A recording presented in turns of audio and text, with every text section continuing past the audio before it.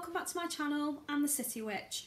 So today's video is on the subject of books I recommend for fairy magic and I'm going to divide it into two sections. So the first books I'll show you and talk to you about are ones that I recommend for the lore, the stories and the myths and legends behind fairies and of course the many different varieties of fairies that are out there from all over the world. And then the second collection of books I'm going to show you are ones that you can get for practicing magic, working spells and rituals with fairies and incorporating the fae into your everyday magical practice. I will score the books from 1 to 10 as always and let you know my personal opinion. I'll give you a sneak peek at the book itself and the content and hopefully I'll be able to give you some recommendations on whether I think the book is useful or good. Now all these books I've read and many of them I've had for a long time and some of them I refer to time and time again. So I might be a little bit biased on these ones guys. Fairy magic is something I've been doing for a very long time. Um, I think roughly now about 20 years I've been working with fairies so a lot longer than I've been working with dragons and dragon magic. But I prefer dragons and dragon magic if I'm honest. But I do like working with the fae. I like incorporating them in my everyday craft and there's loads of simple techniques for doing that and they teach you that in these books. So let's have a look at the book shall we so first one I'm going to talk to you about are the Myths and Legends books that I recommend. And the first one in that collection is called The Fairy Bible. It's by Teresa Moorey. And it looks like this. Now, I picked this up really cheaply, this one, for about a fiver, I think, um, in one of those cheap bookstores that are dotted about in the UK. But full price, it's twelve ninety nine, and I know currently you can buy it on Amazon for about seven quid, so not too expensive if you're interested in getting it, guys. Now, there's several things about this book. It's from a collection known as the Bible Collection, and there's quite a few of these. There's the Wiccan Bible, Spell Bible, um, Meditation Bible, all the Crystal Bibles from 1, 2 and 3, and so on and so forth. And there's quite, like I say, a big collection, and this is one of the ones in that. They select the writers based on their expertise in a certain field, and this was no exception. This They chose a fantastic writer. The content is really informative. The way it's laid out is really clever. really enjoyed it and I'll just show you the content now while I'm on that subject. So you get a full introduction to the book and the writer, the realm of the fairies, water fairies, air fairies, fire fairies, earth fairies, house and hearth fairies, flower fairies, tree fairies, weather fairies, a dictionary of fairies, and an index and some acknowledgements as well. And then throughout the book, you get these really nice images like that and the beautiful colour artworks in here. I mean, they're just really nice, guys. I really like them.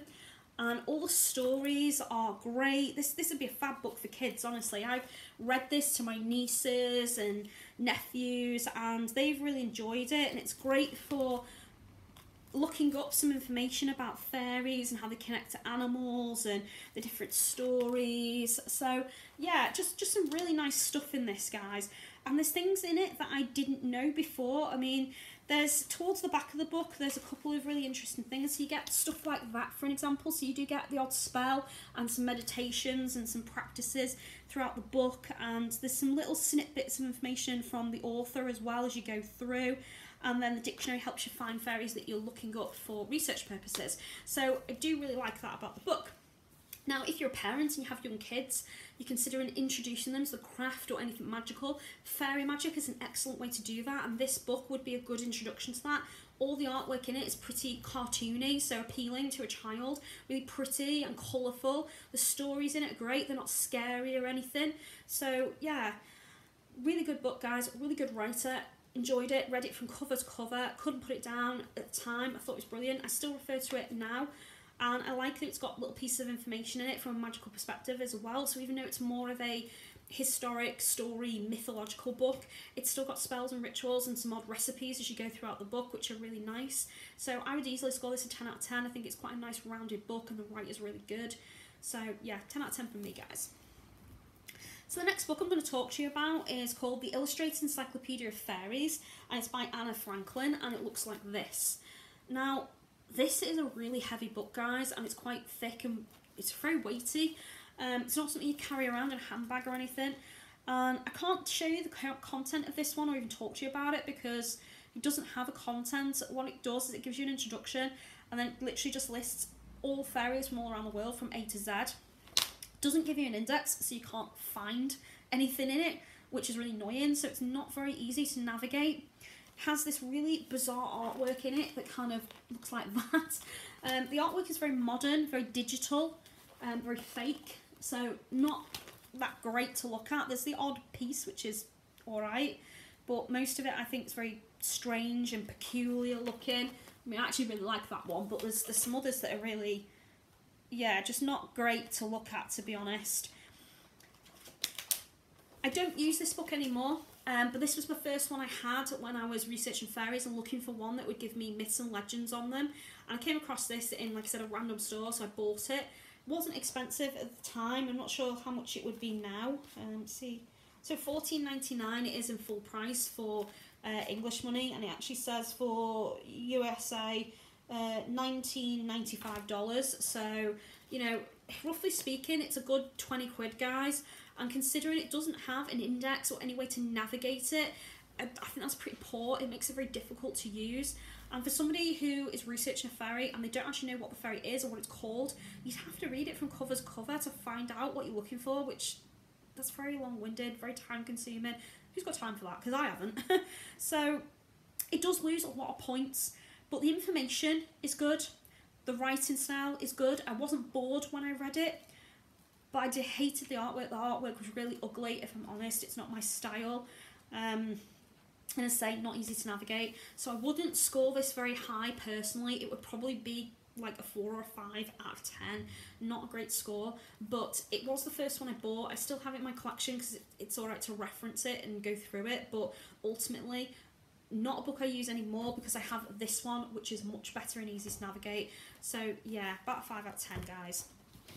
So the next book I have in my collection is by a very known, famous artist. He worked on a lot of really amazing movies and you know cartoons and really popular mythical kind of movies so you might you're going to recognize the writer as you know and the artist as soon as I say his name to be honest um, it's Brian Froud and as we know Brian Froud worked on things like Fraggle Rock Dark Crystal, Labyrinth, and he's a very well-known famous artist here in the UK.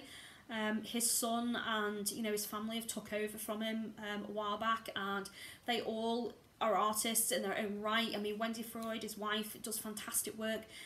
They're just fantastic people as far as I'm concerned. And going on the website, they're really inspirational. The artwork is great, um, the way they perceive fairies and some of the information they give you is really out there. But I really like it.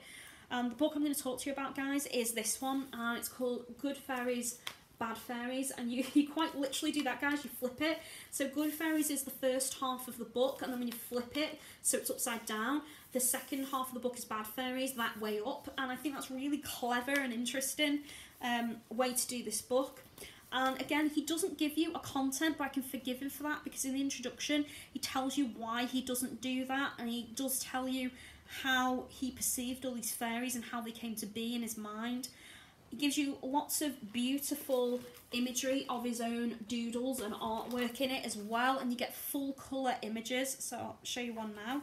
So as an example, you get stuff like that in it, which again, really appealing to young children, really appealing to artists. Some really fantastic imagery in it.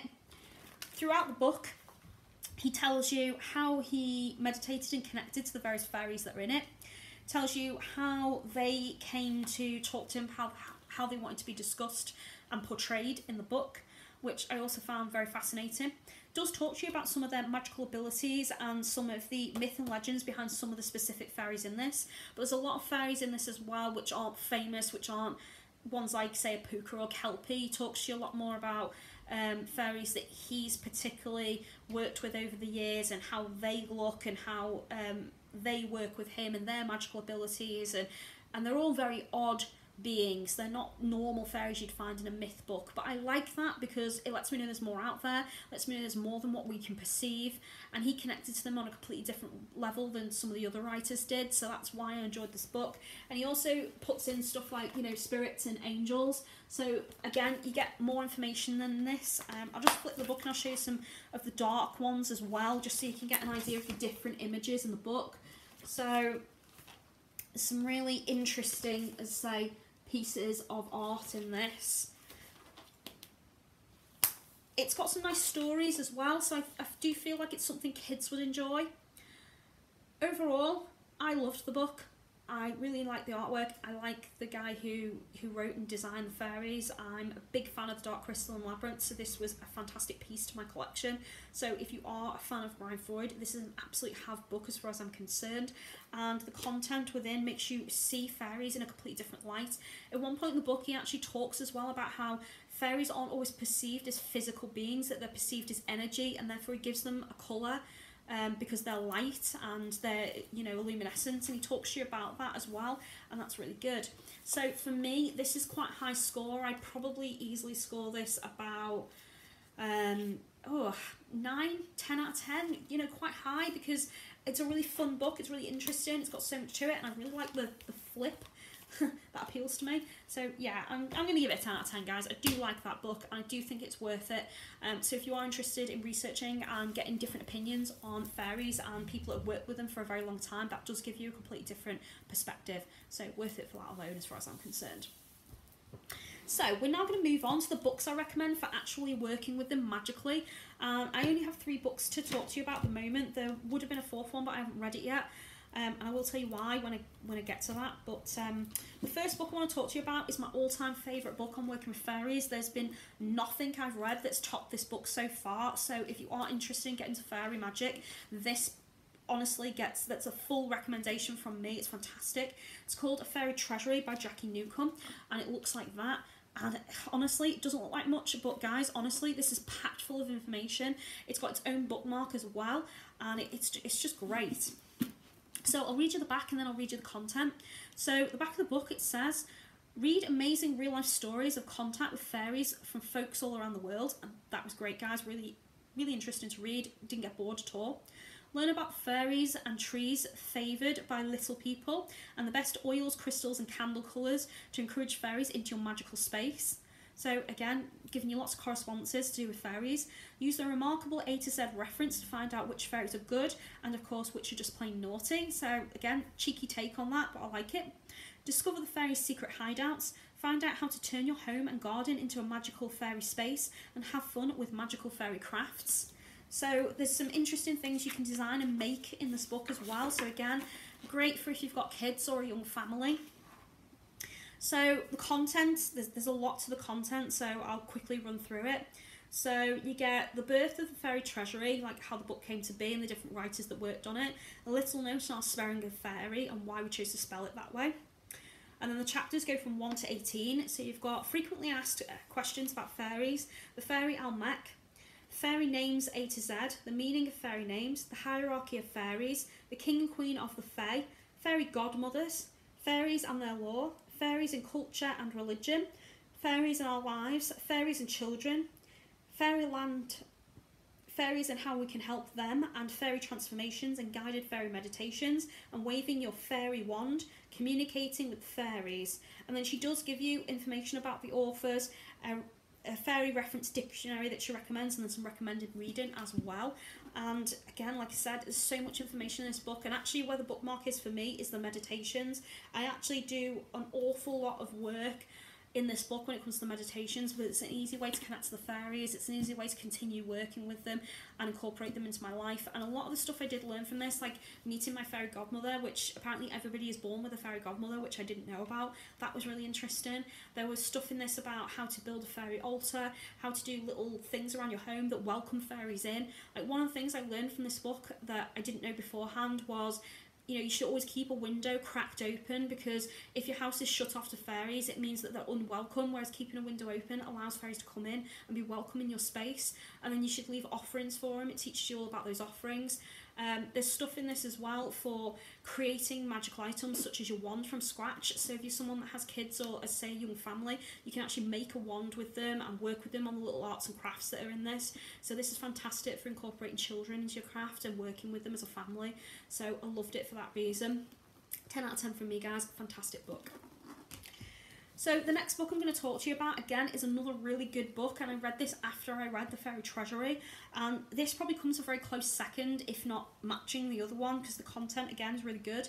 And it's the Book of Fairy Magic by Lucy Cavendish and it looks like that. And it, again really beautiful artwork on this book guys. And again I'll read you what it says on the back and then I'll read you a bit about the content.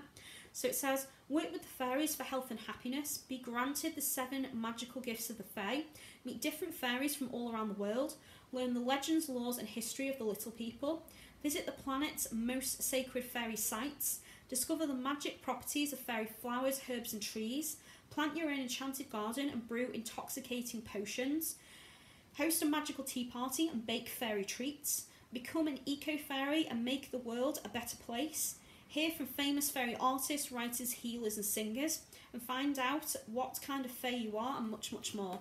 And trust me, guys, there, there is much, much more in this book than that.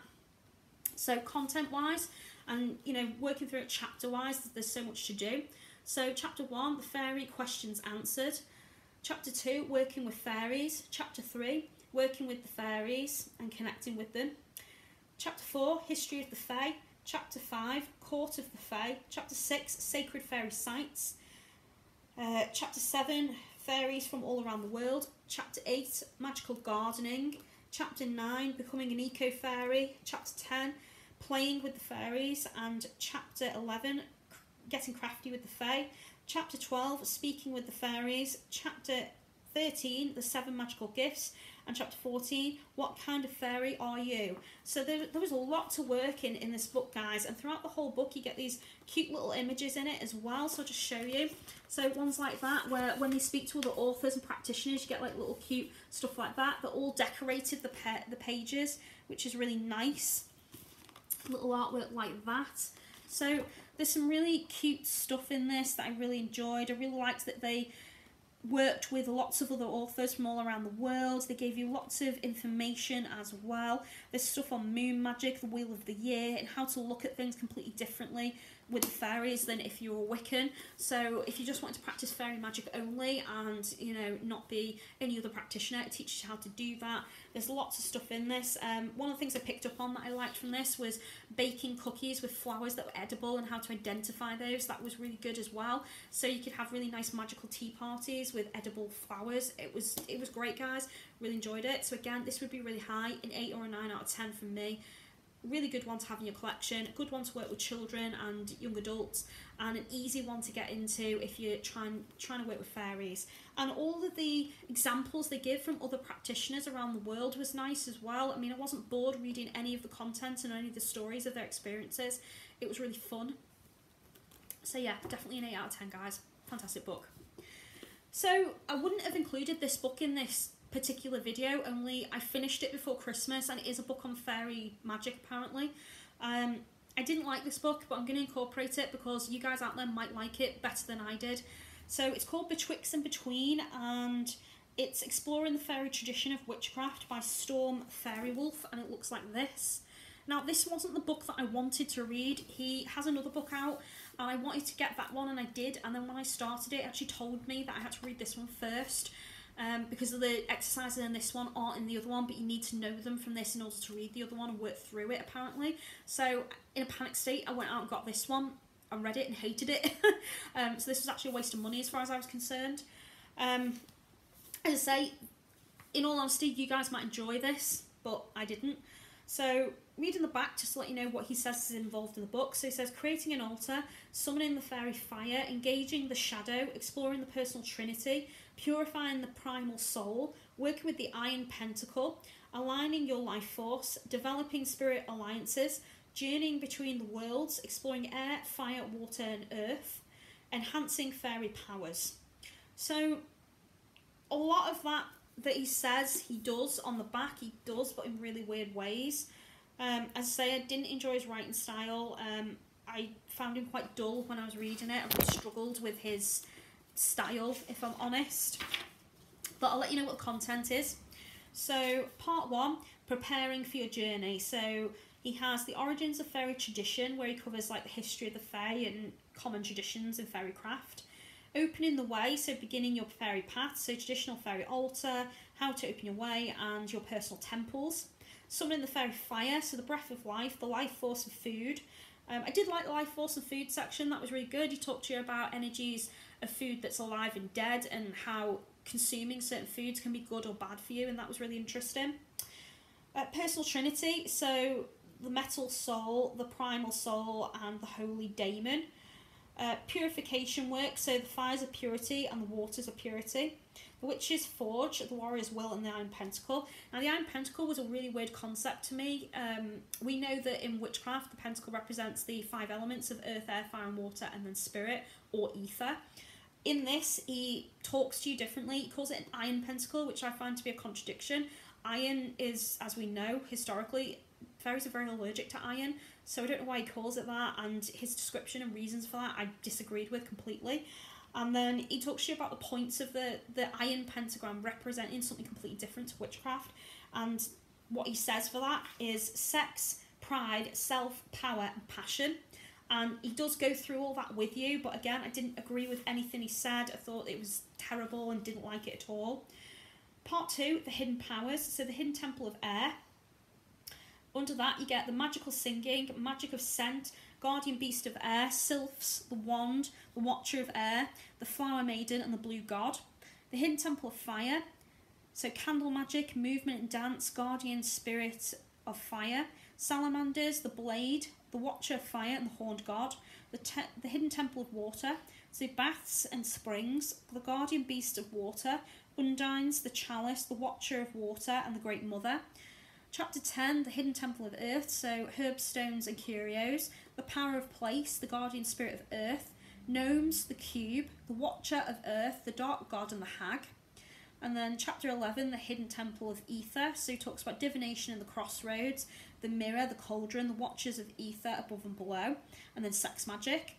And then chapter 12, the heart and the pearl, so the pearl pentacle. So here he talks about love, law, knowledge, power, wisdom, and the black heart of innocence.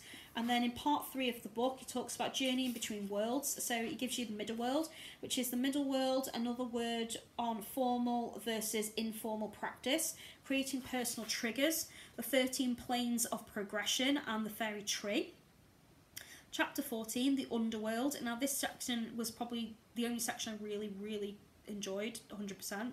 Um, the Underworld Journey, the Seum, the Feast of the Dead, Ancestor Reverence, the Ancestor Altar, the Mighty Dead, the Grand Master's Chair, Pentacle, um, the Beltane Fairy Reed, and the Traditional Prohibitions.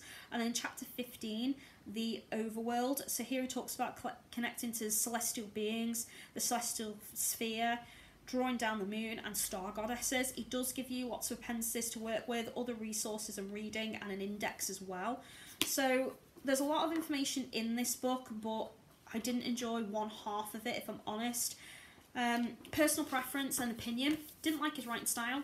Thought a lot of what he said in this was hokum. He talked an awful lot about this secret fairy organisation that he was part of, and I did a lot of research, couldn't find anything on it when, you know, like I said, I've had this since last year, so there might be stuff now, but when I researched, couldn't find anything he said, nothing to back it up, no other practitioners claiming they were part of that, or, you know, that this was all true, so I actually just felt that he was a magical practitioner that had gotten to a certain point in his life where he decided to make his own path, and he put it into a book, and I would have preferred him to say that that he was inventing a new path, a new new way of doing things, rather than claim he's part of this organisation, which no one can prove. So I was a little bit uh, about that. Um, I say I didn't like his writing style, um, didn't agree with one half of what he said in this book, and the things I did enjoy were very few and far between. So overall, I feel like I wasted my money. It wasn't a cheap book, cost me about £18, so fairly expensive to get my hands on. So I'm hoping the second book that I mentioned, the reason that I bought this, is, is better than this because that's about connecting more to underworld magic using witchcraft, so less of the fairy stuff and much more about witchcraft. So yeah, so I'll let you know if I enjoy the other one, but this one I kind of didn't. But it is a book on fairy magic. He does talk about fairies and connecting to them in different ways. He does work with them in the book, and he does talk about this unique system of fairy magic, which none of the others did. And as I say, I can't I can't verify anything he said in this if I'm honest because this is such a new book. But if you guys read it, let me know what you thought. I personally didn't enjoy it, but again, it's personal preference. What I don't enjoy, you might. So give it a whirl and yeah, and let me know what you think. But from my perspective and what I read and the content and everything, I would score this very, very low, like a four. Really didn't enjoy it, and actually, I think I'm probably going to sell it or give it away. So um, yeah, so if anyone wants to buy it off me, guys, I'll, I'll sell it to you because I didn't enjoy it. So yeah, so that's me done, guys. I don't have any more books that I would particularly recommend at this time. There are not enough books out there on fairy magic as far as I'm concerned, but a lot on the myths and laws behind fairies. So I'm hoping more writers will do more on the subject. And if you are interested, there are a lot of fairy oracles out there that help you connect to fairies as well. They help you do really nice meditations, and some of them actually come with little meditation exercises as well, so it's worth getting into that. So as always, if you like the video, give me that all important thumbs up. Click the bell button so you know when my next video is coming out, because YouTube is, is shocking for that. and if you have any questions or queries, then please leave a comment below. And if you don't already know, guys, you can support me on all my social media, which is Facebook, Instagram, Twitter, and of course Patreon. And I much appreciate all your support, guys. So thank you very much for that. If you'd like to book any of my services or any of my um, magical experience for mentoring, then you can do that through my Facebook page, which, as I say, the link is in the description. And thank you very much. As always, take care of yourselves, be good to each other, blessed be. I'll see you later.